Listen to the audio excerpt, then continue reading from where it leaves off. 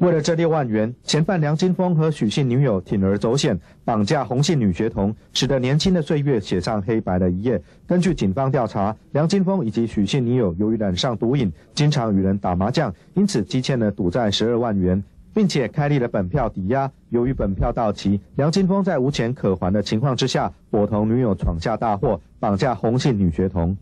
综合这五年来学童遭绑架掳走的时间，大多是在上下学的途中，而且这些学童的家庭背景也都是家境富裕。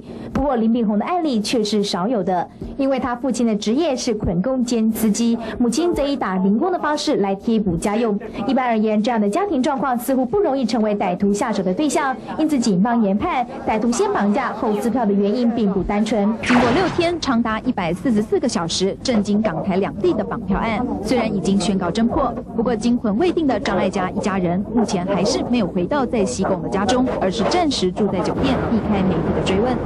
那我们研判应该是跟他熟识的所为了。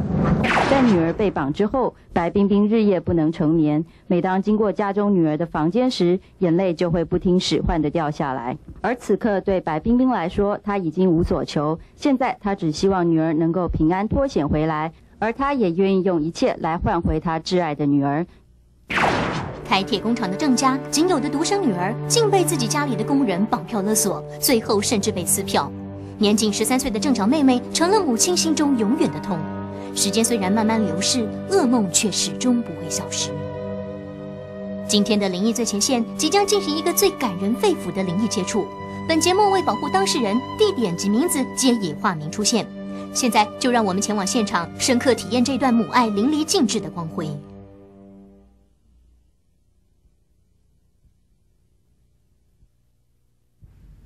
查某囝是足乖哦，是一个足乖、足以孝的查囡仔。我实在是想无，我来去发生这种代志，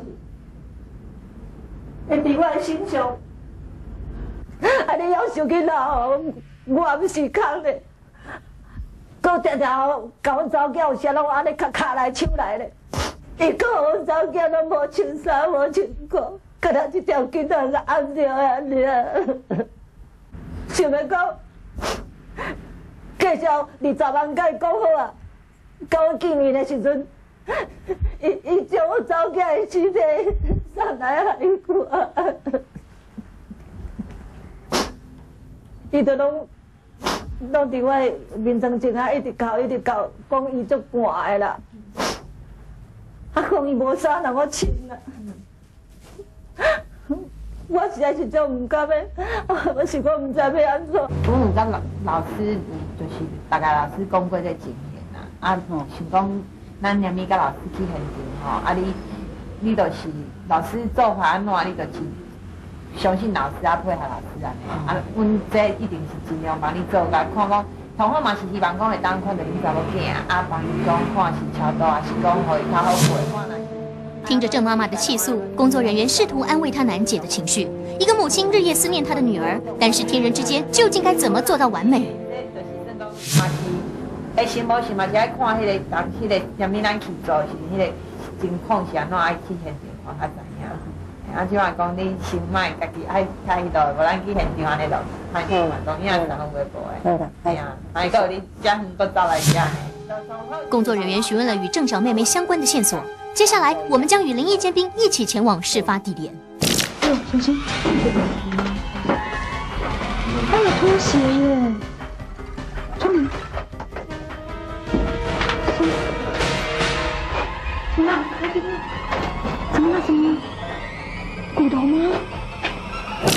你们胆子真的是有够可恶，你们知不知道？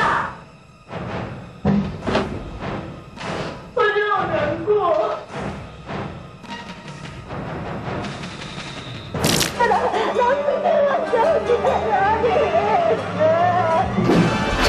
我要讲你吗？是像我们平常我们见面过的感应吗？不是。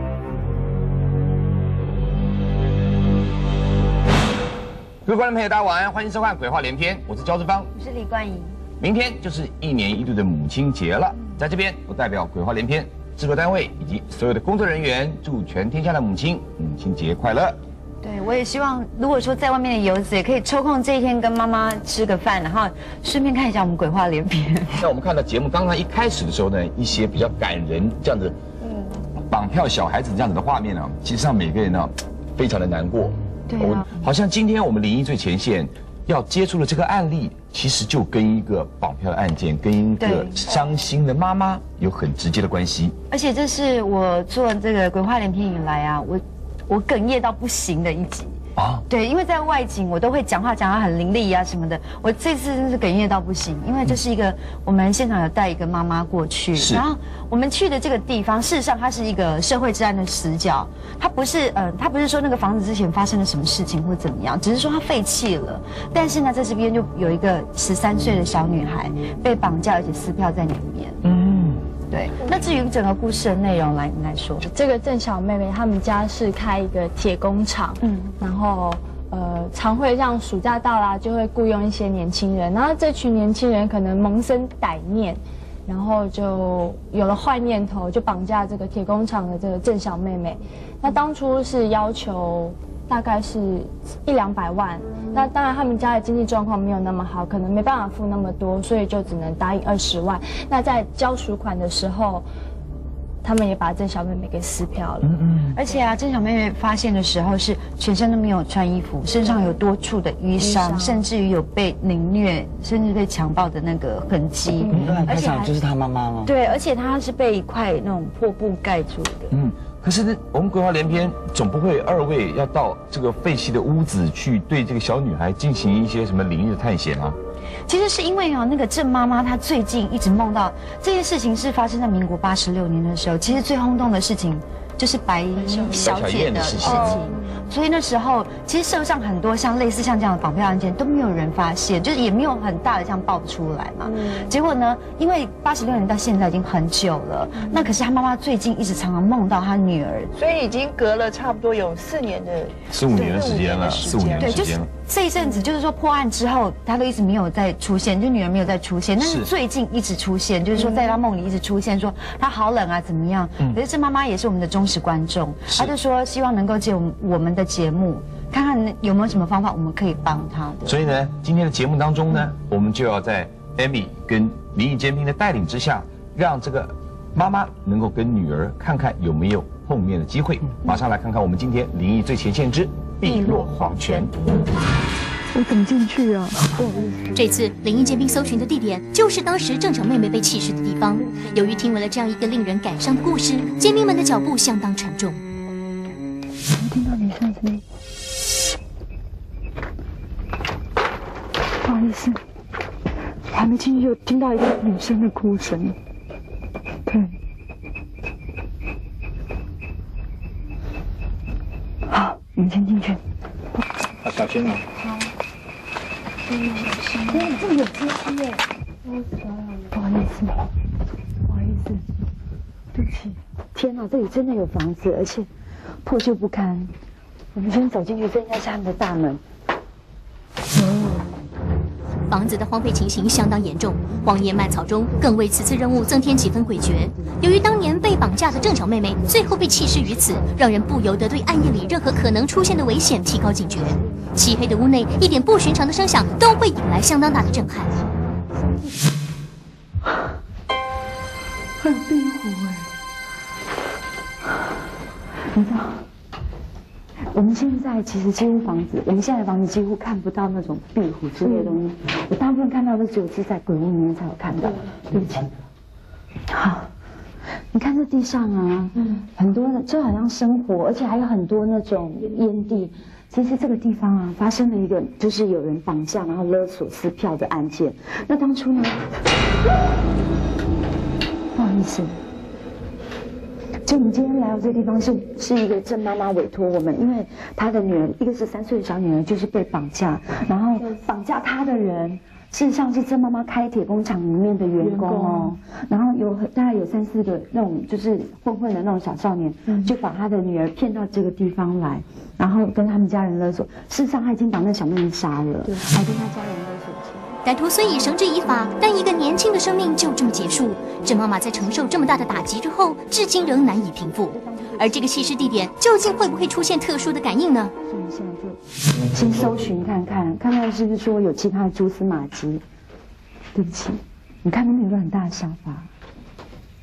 其实这种废弃的屋子啊，很容易让那种不良少年聚集。而且他们这个建筑看起来真的，这种木板门，这是门吧？应该是门。对啊，这个门的话，我们现在也不会看到了。地上有好多碎玻璃，小心一点。一般的人应该都不会随便来这种。不好意思，嗯，不好意思。所以像这种废弃物，你都很少，是。对不起，其实这个我们现在要找的是那个当初那个小妹妹被弃尸的地方。弃尸地点如此隐秘，我们不禁担忧，这样的角落还会是多少治安的死角？此时，尖兵发现了一点蛛丝马迹。巧合的是，这只被丢弃的拖鞋尺寸仿佛是年轻女孩子所有。哦，她当时啊，就是身上那个小妹妹，当时啊，就是被发现的时候，她的尸体是全身都没有穿衣服的，可是是被一个毯子盖住。这是地毯，好像是这一块。这种地毯。该不会这这是地毯吗？对不起。散置的地毯已经被雨水浸湿，甚至腐烂。这会是用来覆盖尸体的地毯吗？你有看到一只小鞋子？对不起哦，对不起。这真的是小朋友的鞋子。你知道我的脚已经很小了，我根本没办法穿这种小鞋子，所以这个应该是我开门的时候，真的是小朋友的鞋子。对不起，放到这里好了。不好意思，而且你看哦，旁边还有这么多的酒瓶，到底是怎么样？